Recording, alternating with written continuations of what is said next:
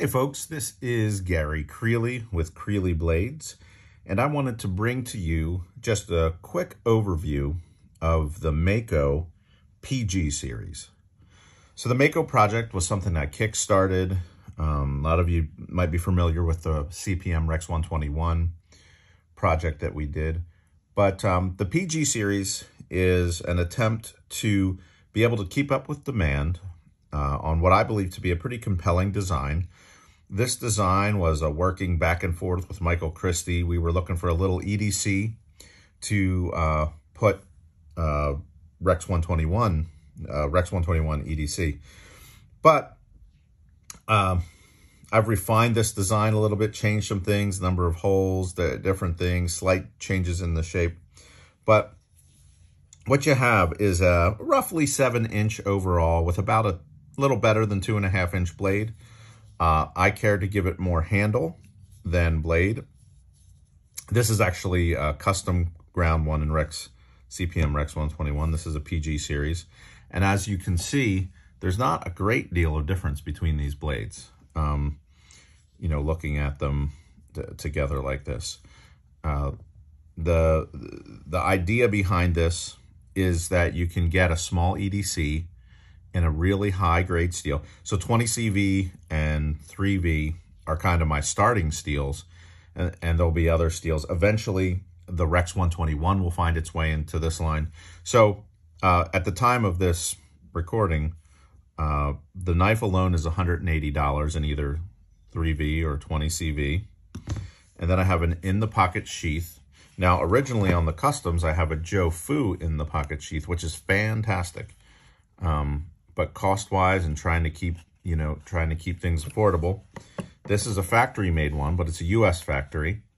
Uh, and the big thing was the clip.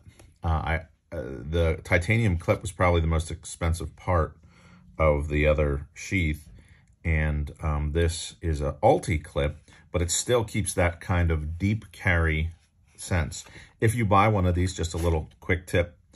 Uh, when you put it in, you want the top of the sheath to kind of come to the bottom of the last screw. You don't want to push it in too much further than that. But I saw I saw one guy take a picture of the knife and it was like that.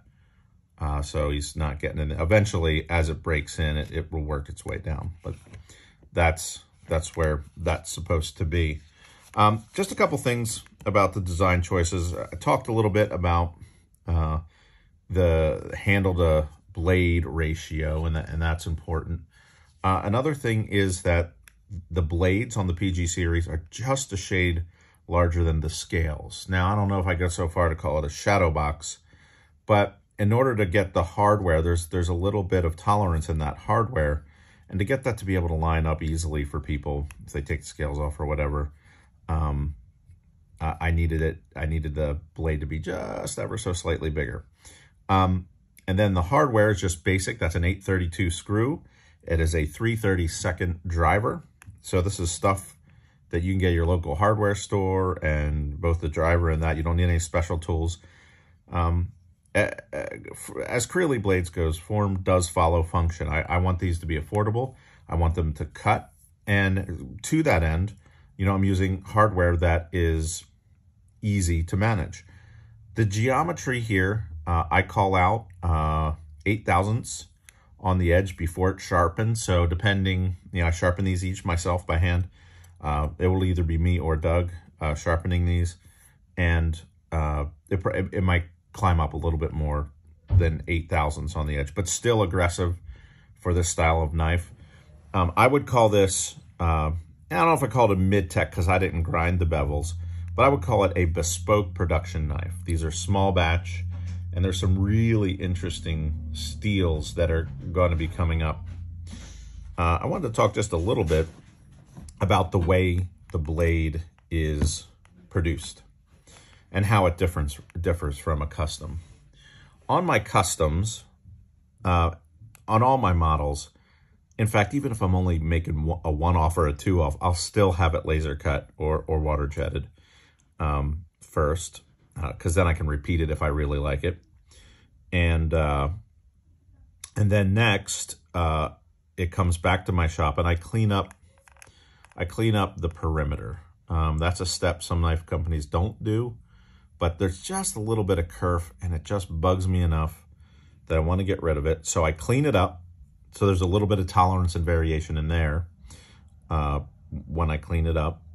Then I send it out to heat treat. The two heat treaters that I use are either Peter's Heat Treat in, believe it's in Meadville, Pennsylvania, or Bos Heat Treat, which is part of Buck. They both do fantastic work. I, you know, one or the other is every bit as good. So um, that is uh, that is this. I also call out. You know, there's a lot of talk about heat treat, like oh, somebody has the best heat treater, or somebody has the worst heat treat. For the most part, these are vacuum furnaces, and they do exactly what you tell them to do. And so I call out a little harder. I call these out at 62 Rockwell. So um, you know, some manufacturers for various reasons of, of tooling and other things will sometimes call some of these steels out at lower hardness levels. So that's the PG series. Um, down the road, you know, um, you can you'll be able to buy scales separately if you want to change out the color or swap them around. Uh, I think I'll do like special runs of scales sometimes. Like I know I have some inline carbon fiber I want to do and some other things. So this is the overview of the PG series. Uh, if you're thinking about one, uh, this this will sort of help you. The base ones here in the 3V and the 20CV, uh, they start at 180 with a sheath. It's 220. A sheath alone is $50, but only 40 with a knife purchase. So, and they're not actually available on their own yet because I barely have enough for the knives that I have. And if you have any questions, you can reach out to me through the comments or through Instagram. Um, I try I try to get around to all the comments. Uh, sometimes email. Emails are actually a little harder for me to get around to. Some guys prefer that. But uh, don't be offended if I don't immediately get back or I miss it. Just hit me up again or we'll, we'll connect one way or the other. Thanks for tuning in, and I hope this helps uh, understand a little bit about what this is and what this project is.